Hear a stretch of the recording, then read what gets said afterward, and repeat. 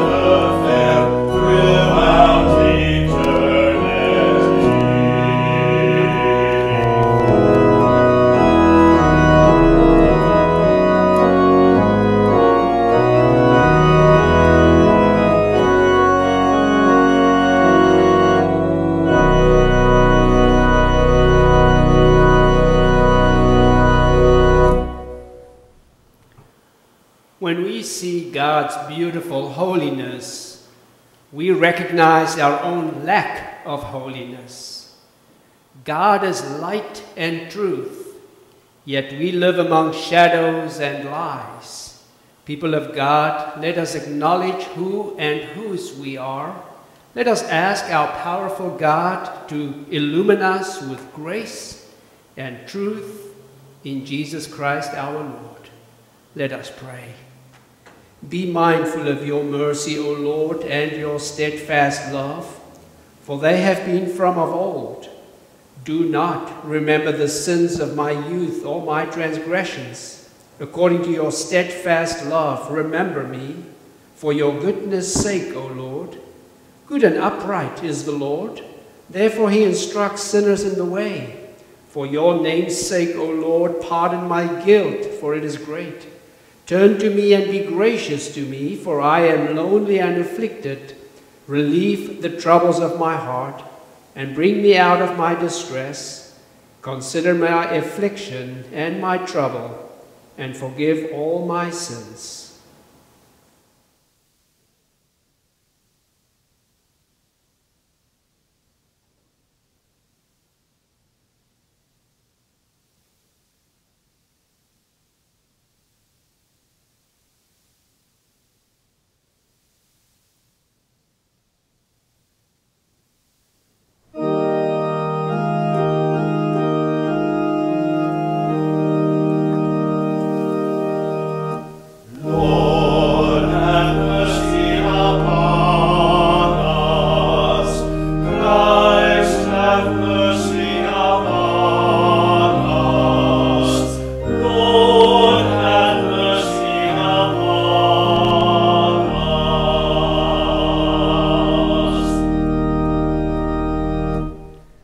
People of God, here is the summary of the good news from 1 Peter chapter 2 verse 24. Believe these for they are they are true.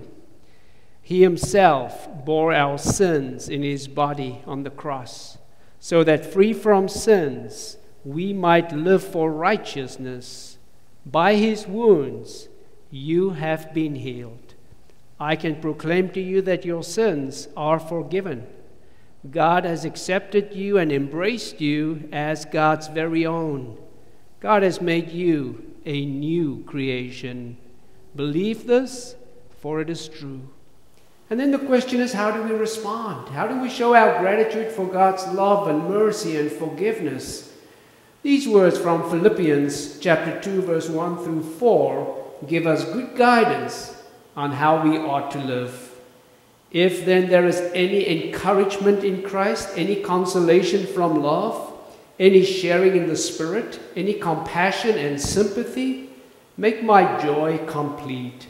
Be of the same mind, having the same love, being in full accord and of one mind. Do nothing from selfish ambition or conceit, but in humility regard others as better than yourselves. Let each of you look not to your own interests, but to the interests of others. Our psalm reading is from Psalm 24.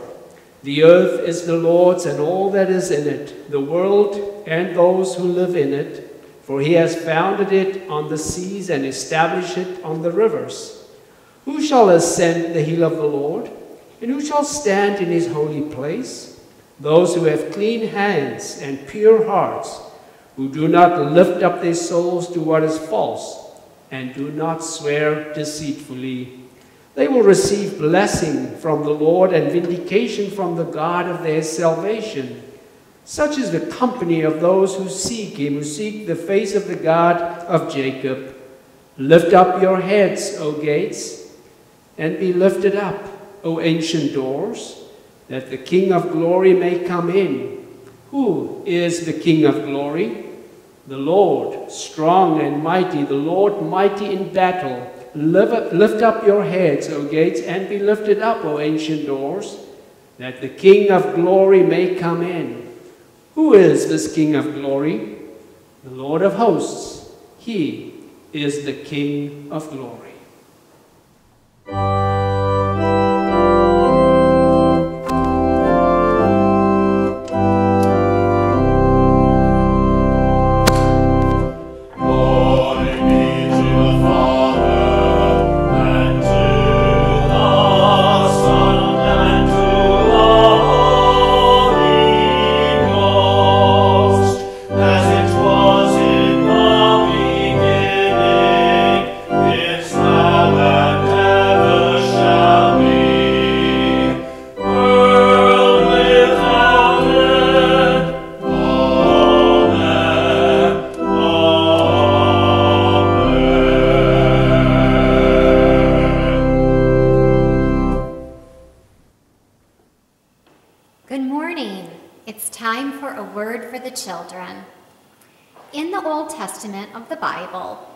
Learn that the Lord said to Abram, Go from your country and your people. Go to the land I will show you. I will make you into a great nation, and I will bless you. I will make your name great, and you will be a blessing to others. God asked Abram to leave what was familiar to him and move to another country. Abram did what the Lord asked him to do. An important part of this reading is that God said, I will bless you so that all the nations will be blessed through you. God didn't choose Abram because he loved him more than anyone else. And God did not choose Abram because he wanted everyone to be just like him. God did not choose Abram so that he could create a special group of people worthy of God's love. God chose Abram because people can't wrap their minds around what God really is. People need something familiar to see, to hear, to touch.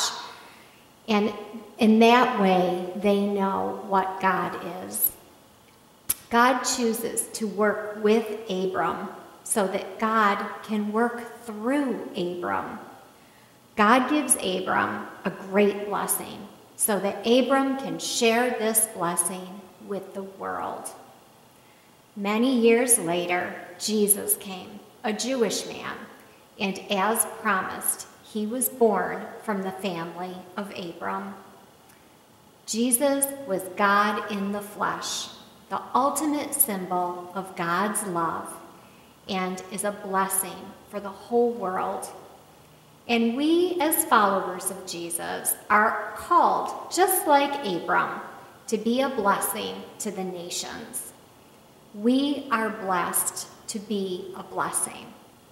To be blessed means that you receive a gift from God that brings happiness and thanksgiving.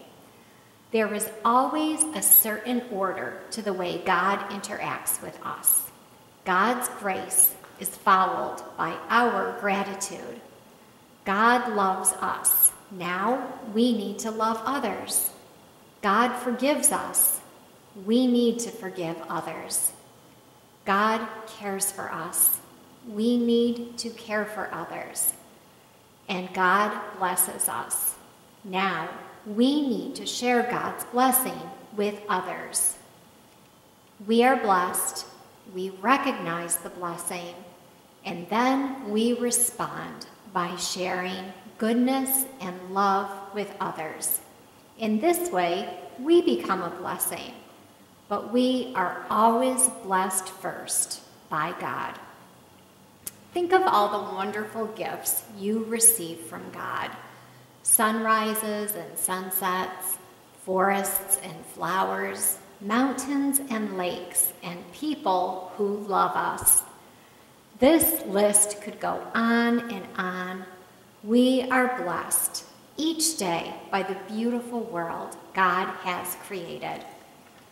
When we do our best to follow what God wants us to do, whether it is through helpful actions or the kind of person we will be, we become a blessing and are able to bring happiness to others. Let us pray. Dear God, your plan for each one of us is wonderful. We thank you for all the blessings in our lives and pray you will give us courage to follow you, just like Abram. We pray we may share your love and goodness and become a blessing to everyone in our lives. In Jesus' name we pray. Amen.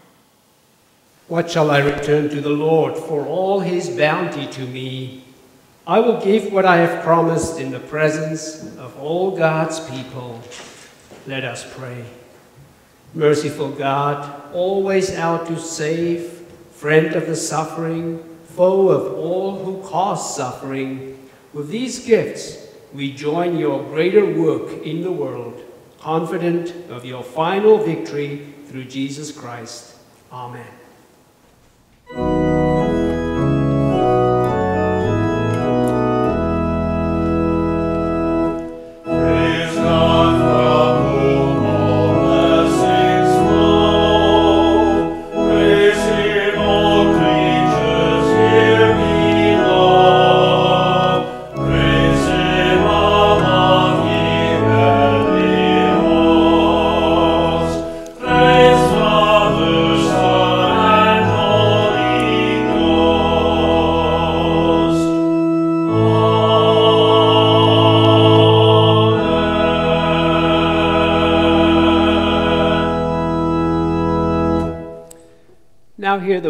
God. Our first reading is from the Old Testament, the book of Genesis, chapter 12, verses 1 through 9, the call of Abraham.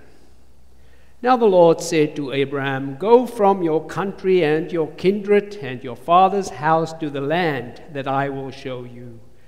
I will make of you a great nation, and I will bless you, and make your name great, so that you will be a blessing.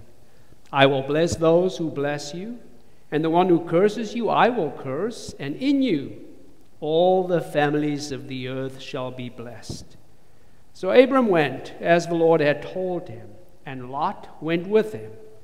Abram was 75 years old when he departed from Haran.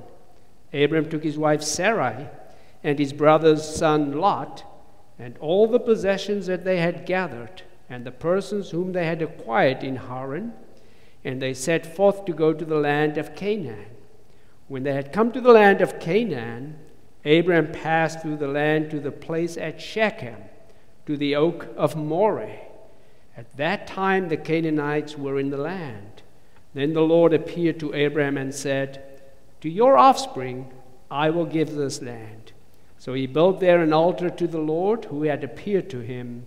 From there he moved on to the hill country on the east of Bethel and pitched his tent, with Bethel on the west and Ai on the east.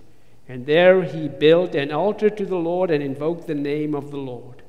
And Abram journeyed on by stages towards the Negeb.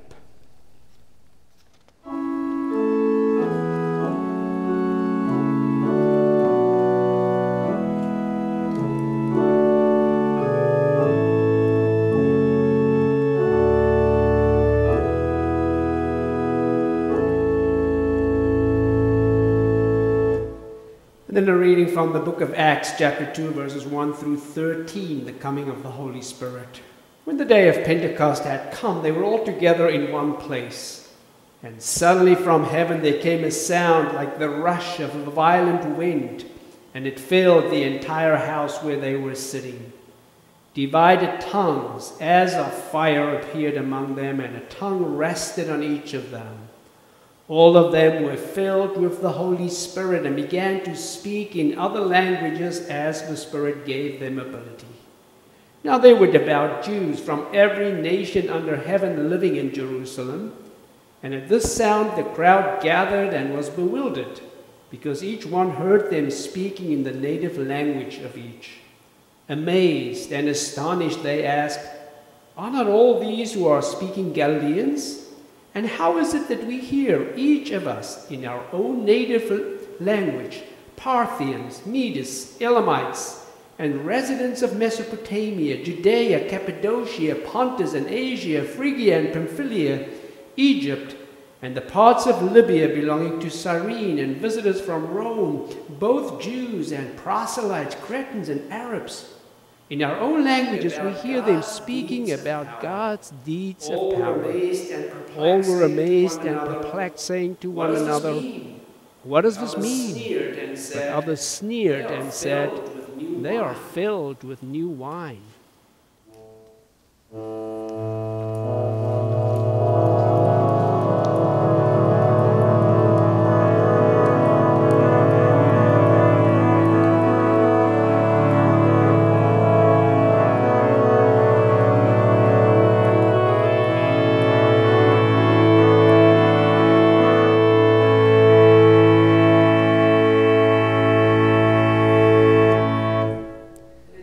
Gospel reading John chapter 4, verses 7 through 26. A Samaritan woman came to draw water, and Jesus said to her, Give me a drink. His disciples had gone to the city to buy food. The Samaritan woman said to him, How is it that you, a Jew, ask a drink of me, a woman of Samaria? Jews do not share things in common with Samaritans. Jesus answered her, If you knew the gift of God and who it is that is saying to you, Give me a drink, you would have asked him, and he would have given you living water. The woman said to him, Sir, you have no bucket, and the well is deep. Where do you get that living water? Are you greater than our ancestor Jacob, who gave us the well and with his sons and his flocks drank from it? Jesus said to her, Everyone who drinks of this water will be thirsty again, but those who drink of the water that I will give them will never be thirsty. The water that I will give will become in them a spring of water gushing up to eternal life. The woman said to him, Sir, give me this water so that I may never be thirsty or have to keep coming here to draw water. Jesus said to her, Go call your husband and come back. The woman answered him, I have no husband. Jesus said to her, You are right in saying, I have no husband, for you have had five husbands, and the one you have now is not your husband. What you have said is true. The woman said to, her, to him, Sir, I see that you are a prophet. Our ancestors worshipped on this mountain, but you say that the place where people must worship is Jerusalem. Jesus said to her, Woman, believe me. The hour is coming when you will worship the Father neither on this mountain nor in Jerusalem. You worship what you do not know. We worship what we know, for salvation is from the Jews. But the hour is coming, and it is now here, when the true worshippers will worship the Father in spirit and truth. For the Father seeks such as these to worship him. God is spirit and those who worship him must worship in spirit and truth. The woman said to him, I know that Messiah is coming, who is called Christ. When he comes, he will proclaim all things to us. Jesus said to her, I am he, the one who is speaking to you. This is the word of the Lord. Thanks be to God. Theologian and retired seminary professor Elizabeth Achtemeier was asked a question What are the characteristics that separate great preaching from mediocre preaching? And here is her answer Great preachers talk mostly about God and not about human problems. It is very easy for anybody to tell what is wrong with our world and what are the common struggles and sins of us human beings.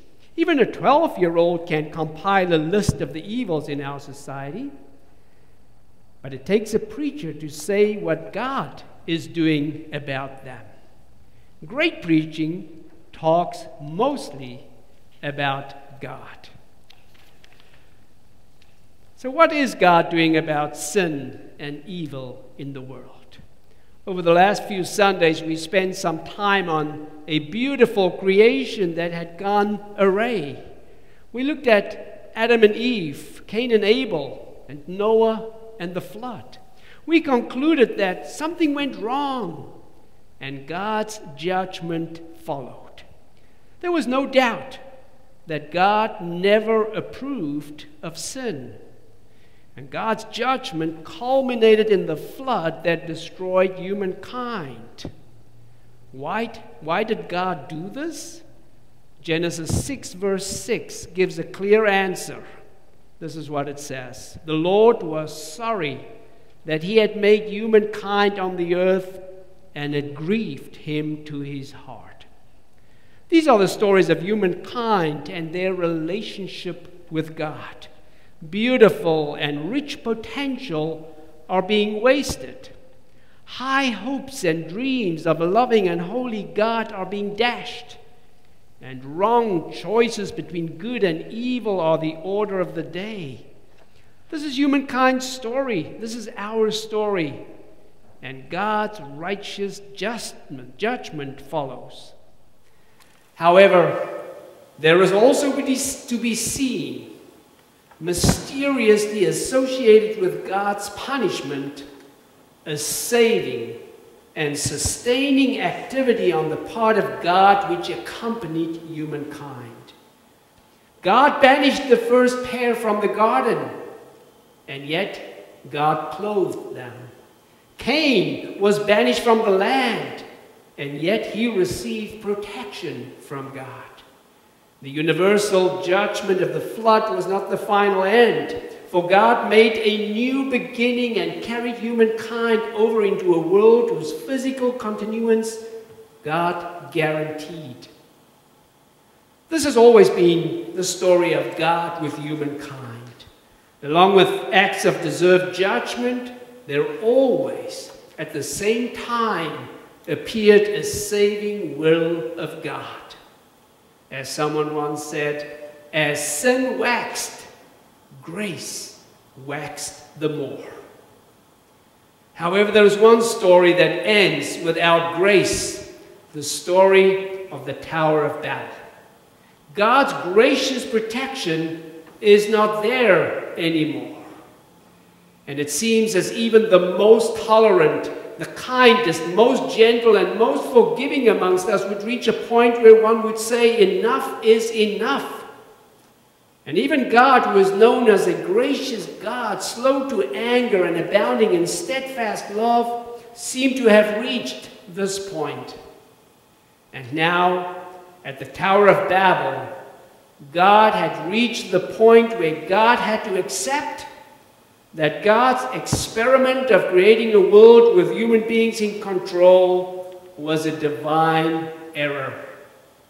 The question is is God's grace finally exhausted? And if it is, who could blame God? There certainly had to be a point where God would say, too, enough is enough. So, what now? The answer to this most universal of all theological questions is given in the next chapter, Genesis 12. Genesis 12 is the beginning of what is called God's saving history. God calls Abraham, and God is to bless all the families of the earth through Abraham.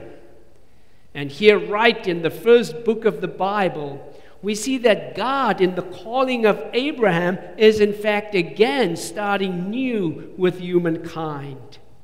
And God's willingness to start new with our wretched species gives us a clear understanding of the very nature of God.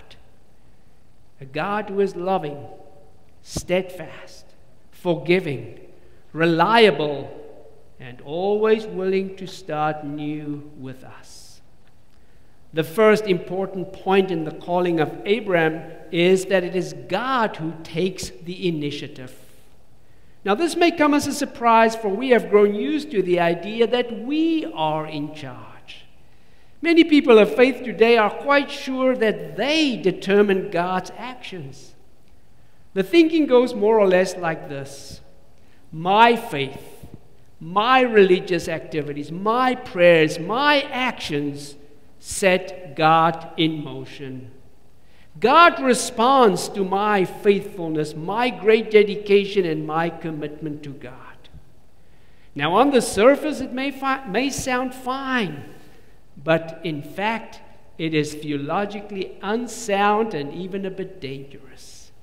You see, if I think that I, with my actions, pious as they may be, can manipulate God to act the way I want to act, God to act, God would cease to be God. God is and remains sovereign, reliable, and we as human beings are fickle and easily distracted. The truth is, we did not make ourselves. We cannot keep ourselves, and we could never forgive ourselves. God is our maker, our provider, and our Savior.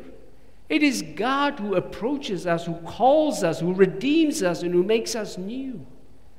The only way we can find lasting comfort and hope for the future is when we place our trust in God who takes the first step, who approaches us.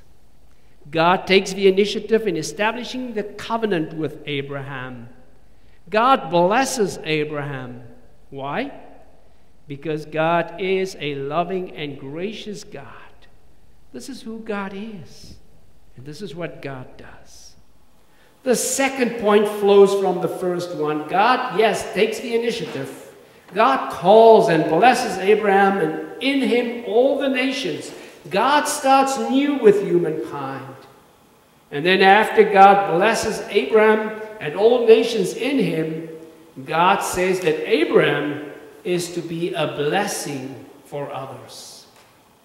Old Testament scholar Gerhard von Rad writes that Abraham is assigned the role of a mediator of blessings in God's saving plan for all the families of the earth. A mediator of the blessings of God. You see, Abraham has a unique position as the father of the three world religions Judaism, Christianity, and Islam. For us within the Christian tradition, the New Testament readings confirm the truth that God's love is not exclusive, but inclusive. At Pentecost, the Spirit of God is poured out on all flesh, and something remarkable is happening. The natural barriers of language and culture are not able to stop the spread of the good news. God's love of humankind, now shown in the life of God's Son, Jesus Christ, results in an inclusive community. And the first thing Peter does is to proclaim the good news of Jesus. And in doing so, he becomes a blessing to others. Our gospel reading from John forces us to take a step back. John makes no secret that Jesus is the one sent by God as God's revelation to us. John is very clear. In Jesus, we find God. The Word was with God, and the Word was God. And what does the Word do? In our John reading, Jesus did something that was so unusual, so outlandish that his own disciples were astounded. So, what did he do? He engaged in conversation with a woman. Remember that at the time, women called their husbands master. They were considered to be their husband's possessions, and all their lives they were seen as minors. It was undesirable for rabbis to engage in conversation with women. So Jesus talking to a woman would have been unusual in itself. Remember then, too, the Jews despised Samaritans. They even called them dogs. But here Jesus now speaks to a woman. Not a Jewish woman, that would have been a no no anyway, but he speaks to a Samaritan woman. Jesus did what was viewed as unusual, frowned upon, and even undesirable. These cultural barriers did not stop him from really seeing and engaging in conversation with another human being. Jesus illustrates that God's love includes all, even those who are excluded by sex, race, or their standing in the society. And these biblical readings remind us that it is God who takes initiative in approaching human beings. By the grace of God, we too are included in God's salvation plan for humankind. And this is not our doing, it is God's act of love and grace. We are called to respond in gratitude for God's willingness to start new with us. God blessed us with countless divine blessings. The words of God to Abraham that he would become a blessing apply therefore to us too. We too are called to be mediators of God's blessing in God's saving plan for all the families of the earth. The truth is that there are barriers that could stop us from being a blessing to others. Barriers still, like culture, language, sex, race, and economics, are some that come to mind. However, if we want to be mediators of God's blessings to all the families of the earth, We should be willing to cross these barriers, just like Jesus did and his disciples did when they followed the example of their Lord and their Savior. They knew that they were blessed, and they were willing to become a blessing for others.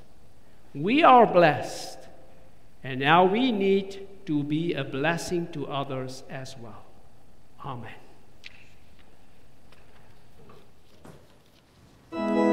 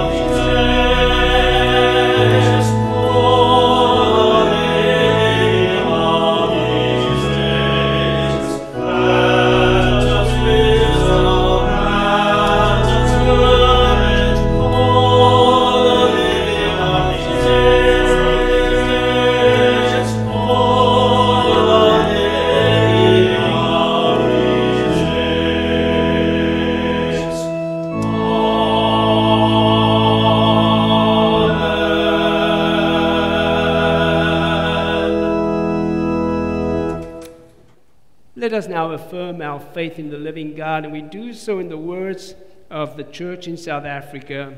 We believe in God the Father, who created all the world, who will unite all things in Christ, and who wants all people to live together as brothers and sisters in one family.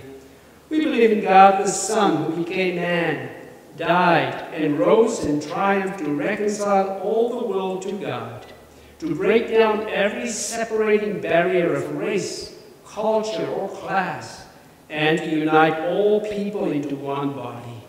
God summons both the individual and society, both the church and the state, to seek reconciliation and unity between all injustice and freedom for all.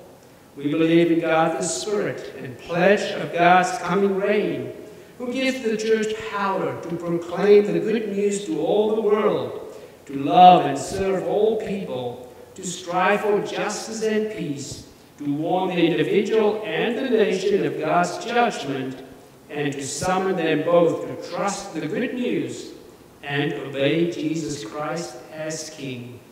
Amen. Let the peace of Christ rule in your hearts since as members of one body you were called to peace, the peace of Christ be with you. Sisters and brothers in the Lord Jesus Christ, the Holy Supper, which we are about to celebrate, is a feast of remembrance, of communion, and of hope. We come in remembrance that our Lord Jesus Christ became flesh and blood like us and fulfilled for us all obedience to the divine law even to the bitter and shameful end of the cross. By his death, resurrection, and ascension, he established a new and eternal covenant of grace and reconciliation that we might be accepted of God and never be forsaken by God. We come to have communion with the same Christ who has promised to be with us always, even to the end of the world. In the breaking of the bread, he makes himself known to us as the true heavenly bread that strengthens us unto life eternal. In the cup of blessing, he comes to us as the vine in whom we must abide if we are to bear fruit. We come in hope, believing that this bread and this cup are a pledge and foretaste of the feast of love of which we shall partake when his kingdom has fully come when with unveiled face we shall behold him, made like unto him in his glory. Since by death, resurrection, and ascension, Christ has obtained for us the life giving Spirit who unites us all in one body, so are we to receive this supper in true love, mindful of the communion of saints. This is the Lord's table, so come you are welcome, for all things are now ready. The Lord be with you and also with you. Lift up your hearts. We lift them up to the Lord. let us give thanks to the Lord our God. It is right to give God thanks and praise. Holy and right it is, and our joyful duty to give thanks to you at all times and in all places, O Lord our Creator, Almighty and everlasting God. You created heaven with all its hosts, and the earth with all its plenty. You have given us life and being, and preserve us by your providence. But you have shown us the fullness of your love in sending into the world your Son, Jesus Christ, the eternal Word made flesh for us and for our salvation. For the precious gift of this mighty Savior who has reconciled us to you, we praise and bless you, God, with your whole church on earth and with all the company of heaven, we worship and adore your glorious name.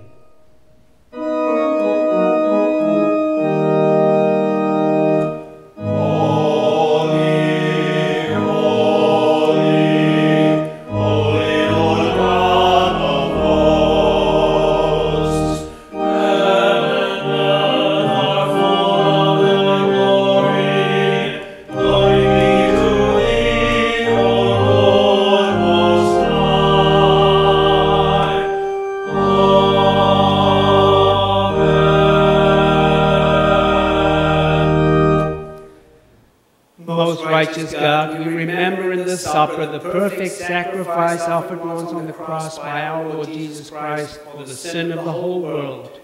In the joy of his resurrection and in the expectation of his coming again, we offer ourselves to you as holy and living sacrifices. And together we proclaim the mystery of faith. Christ has died, Christ is risen, Christ will come again. The Lord, on the same night he was betrayed, took bread. When he had given thanks, he broke it, gave it to them, saying, Take, eat, this is my body, which is broken for you. Do this in remembrance of me. And after the same manner also, he took the cup when they had supped, saying, This cup is the New Testament in my blood. As often as you drink it, in remembrance of me.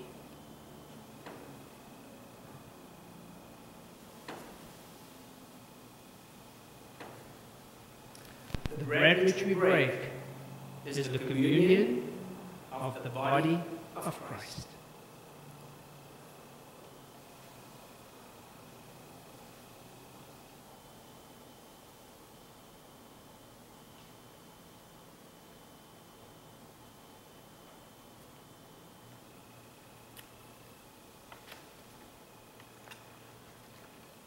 The cup of blessing which we bless is the communion of the blood of Christ.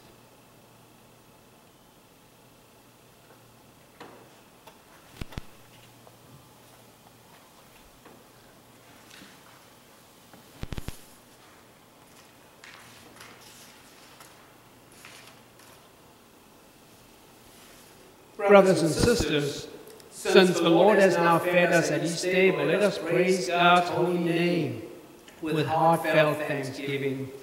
Bless the Lord, O my soul, and all that is within me. Bless his holy name. Bless the Lord, O my soul, and forget not all his benefits, who forgives all your iniquities, who heals all your diseases, who redeems your life from the pit, who crowns you with loving kindness and tender mercies, who has not spared his own Son, but delivered him up for us all and given us all things with him. Therefore shall my mouth and heart show forth the praise of the Lord from this time forth forevermore. We do praise and thank you, O Lord, that you have fed us at your table, grateful for your gifts and mindful of the communion of your saints. We offer to you our prayers for all people. God of compassion, we remember before you the poor and the afflicted, the sick and the dying, prisoners and all who are lonely, the victims of war, injustice, and inhumanity, and all others who suffer from whatever their sufferings may be called. We lift up to your care today, O God, Billy Campbell and his family on the passing of Diane, for Kay Bowder, We pray for Kelvin Cromer, Craig DeRusso, Sharon and Bob Ryder. We pray for everyone who has been affected by the pandemic, for all refugees and victims of natural disasters and war and violence. O O Lord of providence, who holds the destiny of the nations in your hand, we pray for our country. Inspire the hearts and minds of our leaders, that they, together with all our nation, may first seek your kingdom and righteousness, so that order, liberty, and peace may dwell with your people. O God, the Creator, we pray for all nations and peoples. Take away the mistrust and lack of understanding that divide your creatures. Increase in us the recognition that we are all your children. O Savior God, look upon your church and its struggle upon the earth.